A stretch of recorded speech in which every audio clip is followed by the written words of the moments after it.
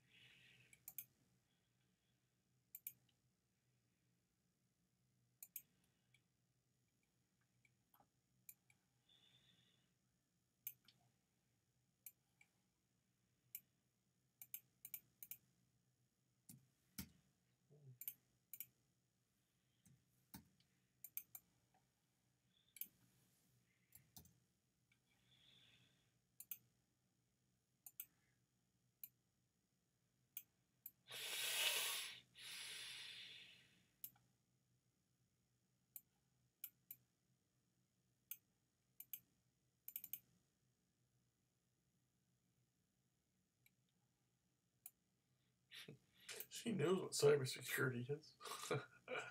That's kind of funny. At least I think so.